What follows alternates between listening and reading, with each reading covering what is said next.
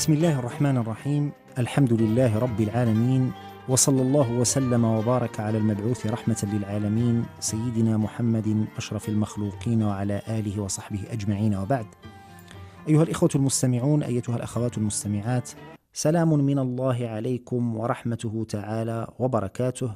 واهلا ومرحبا بكم في هذه الحلقة الجديدة من برنامجكم لباب الشهاب. والتي نقف فيها على معنى قوله صلى الله عليه وسلم إذا أتاكم كريم قوم فأكرموه. هذا الحديث رواه أبو عبد الله القضاعي في مسند الشهاب عن عدي بن حاتم الطائي وابن عمر وجرير بن عبد الله رضي الله عنهم أجمعين. ورواه أيضا جماعة من الأئمة رواه الحاكم وابن ماجه والطبراني والبزار وغيرهم. وهو حديث يتقوى بتعدد طرقه وله شاهد أخرجه أبو داود من حديث الشعبي مرسلا بسند صحيح. وقد حكى الخطيب البغدادي رحمه الله قصة لطيفة بخصوص هذا الحديث في ترجمة الإمام الدار قطني يستدل بها على سعة حفظه ومعرفته رحمه الله. ذلك أن الدار قطني أملى على أحد الغرباء في مجلس واحد وكان قد أهدى له شيئا أملى عليه حديثه صلى الله عليه وسلم إذا أتاكم كريم قوم فأكرموه من سبع عشرة طريقة مستمعي الكرام قوله صلى الله عليه وسلم إذا أتاكم كريم قوم فأكرموه له قصة وسبب وهي أن النبي صلى الله عليه وسلم دخل بعض بيوته. فدخل عليه أصحابه حتى ضاق المجلس بأهله وامتلأ. فجاء جرير بن عبد الله البجلي فلم يجد مكانا فقعد على الباب فرفع رسول الله صلى الله عليه وسلم رداءه وفرشه له وقال له اجلس على هذا. فأخذه جرير فوضعه على وجهه وجعل يقبله ويبكي ورمى به إلى النبي صلى الله عليه وسلم وقال ما كنت لأجلس على ثوبك أكرمك الله كما أكرمتني. فنظر النبي صلى الله عليه وسلم يمينا وشمالا وقال إذا أتاكم كريم قوم فأكرموه. وجرير المذكور رضي الله عنه هو الصحابي الجليل جرير بن عبد الله بن جابر بن مالك البجلي. وكنيته أبو عمرو وكان سيدا مطاعا كبير القدر بهي الطلعة جميل الصورة وإن على وجهه مسحة ملك كما وصفه رسول الله صلى الله عليه وسلم. وكان إسلامه في رمضان من السنة العاشرة على خلاف في المسألة وقد استعمله صلى الله عليه وسلم على اليمن وشهد رضي الله عنه فتح المدائن بالعراق ومات سنة إحدى وخمسين للهجرة. وقد علق الحافظ أبو بكر العامري على هذه القصة بقوله وذلك أن جريرا كان متقدم قبيلته وكريم عشيرته فلما أتى مسلما فلم يجلسوه ولم يوسع له أحد ظنا منهم بمكانهم أي تمسكا منهم بمكانهم من مجلس رسول الله صلى الله عليه وسلم أكرمه رسول الله صلى الله عليه وسلم بردائه وأمرهم بإكرامه لأمور. أهمها موافقة الله تعالى فيما أكرمه به من خلعة الإسلام. الثاني إنزاله منزلة مثله في التقريب والإكرام إذ كان مقدما ذا رئاسة ومنزلة بين العرب. الثالث أنه إذا بدل له كرامته وحفظ عليه منزلته كان سببا لتأكيد حبه للإسلام وتمسكه بدعائم الإيمان إذا رأى مكارم أخلاق الدين وإقبال المؤمنين عليه بالتكرم. انتهى كلام العامري. ومن كلام الشراح في معنى هذا الحديث ما ذكره المناوي في التيسير قال إذا أتاكم كريم قوم أي رئيسهم المطاع فيهم. المعود منهم بإكثار الإعظام وإكثار الاحترام فأكرموه برفع مجلسه وإجزال عطيته لأنه تعود ذلك. فمن فعل به غير ذلك فقد احتقره وأفسد عليه دينه. وقال الدومي والمراد بالكريم العظيم المقدم في قومه على أي حالة كان لأنه لو لم يكرم لحصل له حقد يحمله على الضرر فالأحسن إكرامه دفعا لضرره إن كان فاسقا واعلاء لشأنه إن كان بارا كريما. ومن فوائد هذا الحديث ما ذكره الأمير الصنعاني قال فهذا إرشاد للأمراء إلى إكرام من يفد عليهم من أعيان العشائر والإحسان إليهم وتألفهم لأنه قد يكون عدم إكرامهم سببا إلى فساد أديانهم وموالاتهم. مستمعي الأعزاء نظير هذا الحديث في المعنى. ما رواه مسلم في مقدمة صحيحه تعليقا عن عائشة رضي الله عنها قالت أمرنا رسول الله صلى الله عليه وسلم أن ننزل الناس منازلهم. قال العلماء قوله أنزلوا الناس منازلهم أي احفظوا حرمة كل واحد على قدره وعاملوه بما يلائم حاله. فلا تسووا بين الخادم والمخدوم والرئيس والمرؤوس فإنه يورث عداوة وحقدا في النفوس والخطاب للأئمة وولاة الأمور ولعامة الناس.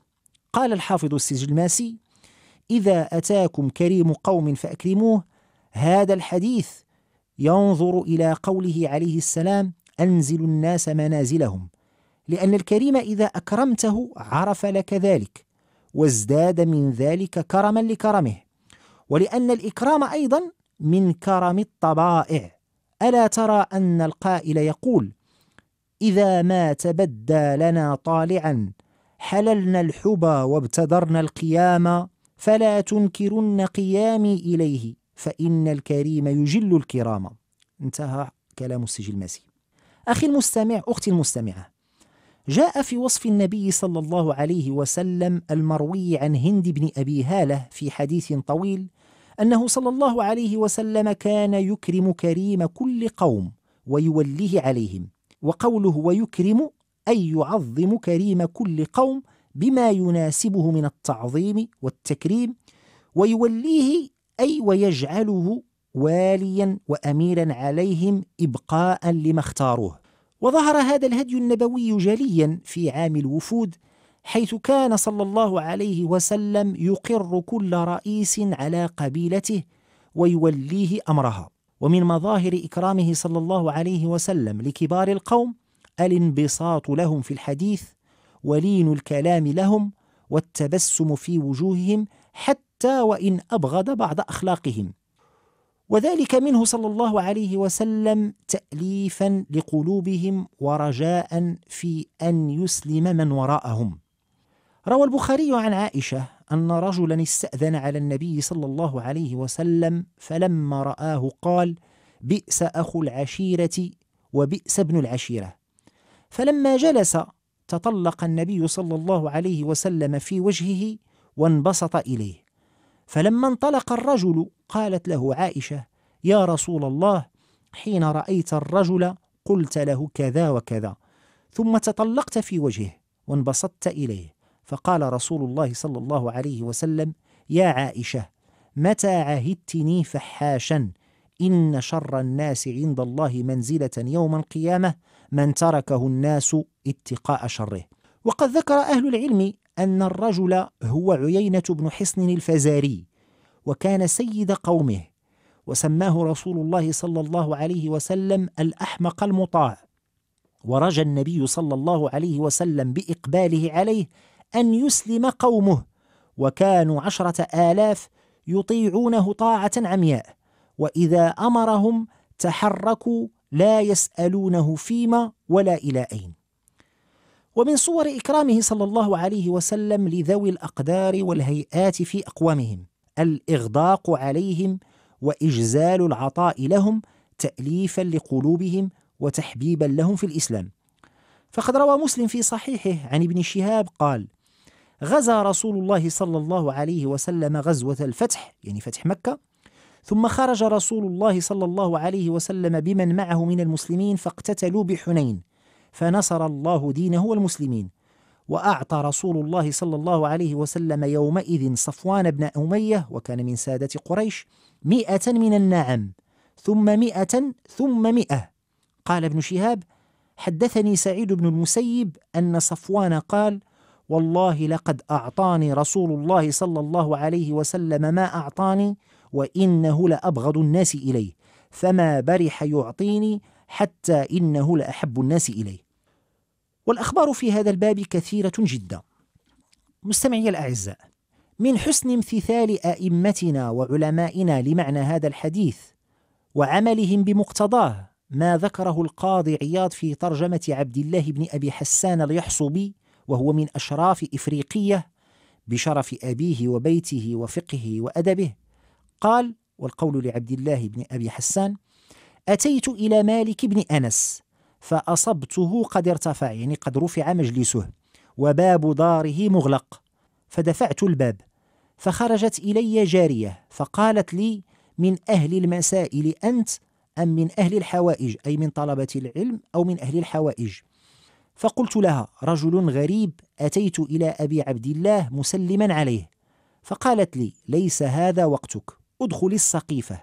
فدخلت فلما كان وقت خروجه فتحت الباب فإذا بمجلس كبير مفروش بالنمارق والمتكئات من أول المجلس إلى آخره وفي صدر المجلس نمرقة عظيمة ومتكأة على اليمين وأخرى على الشمال وأخرى إلى الحائط. فقلت في نفسي هذا مجلس الشيخ يعني يقصد الإمام مالك. ثم دخلت فخرجت الجارية وفي حضنها مراوح. فوضعت على متكأة مروحة ثم دخل مشايخ فقعدوا ثم خرج مالك يتهادى بين تلك الجارية وفتى ورجلاه تخطان في الأرض من الكبر وكأني أنظر إلى جماله وبهائه وإلى شعر رأسه قد تعقف جعودة حتى أتيا به إلى ذلك المجلس فجلس وسوى عليه ثيابه.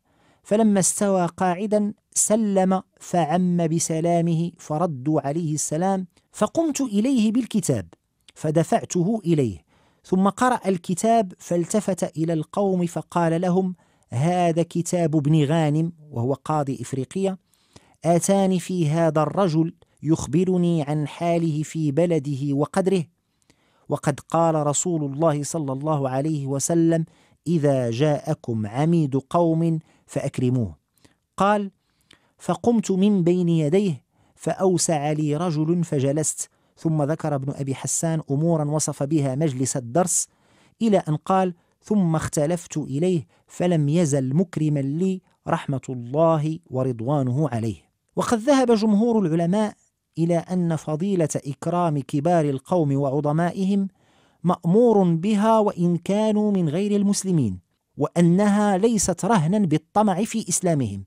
قال الحافظ ابن عبد البر في التمهيد وقد قال صلى الله عليه وسلم إذا أتاكم كريم قوم أو كريمة قوم فأكرموه ولم يقل إن طمعتم بإسلامه ومن الحكايات الواردة في هذا المعنى ما ذكره ابن خميس في كتابه أعلام ما لقه قال حدثني خالي أبو عبد الله بن عسكر أن الكاتب أبا عبد الله بن عياش كتب يوما كتابا ليهودي فكتب فيه ويحمل على البر والكرامة. فقال له المنصور المقصود هنا المنصور الموحدي من أين لك أن تقول في كافر ويحمل على البر والكرامة؟ فقال ففكرت ساعة وقد علمت أن الاعتراض يلزمني فقلت قال رسول الله صلى الله عليه وسلم إذا أتاكم كريم قوم فأكرموه وهذا عام في الكافر وغيره فقال المنصور نعم هذه الكرامة فالمبرة من أين أخذتها؟ قال فسكت ولم أجد جوابا قال فقرأ المنصور أعوذ بالله من الشيطان الرجيم لا ينهاكم الله عن الذين لم يقاتلوكم في الدين ولم يخرجوكم من دياركم أن تبروهم وتقسطوا إليهم. إن الله يحب المقسطين. قال فسررت بذلك كثيرا وشكرته عليه. مستمعي الأعزاء إلى أن ألقاكم في الحلقة القادمة بحول الله أستودعكم الله الذي لا تضيع ودائعه. والسلام عليكم ورحمة الله تعالى وبركاته.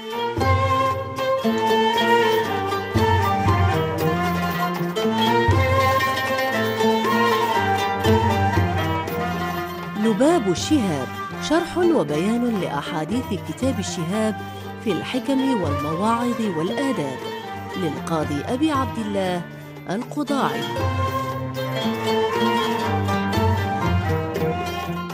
لباب الشهاب سياحة في رياض الكرم النبوي والحكمة المحمدية. لباب الشهاب من إعداد وتقديم الدكتور يونس بوعلام إخراج أمينة غربي.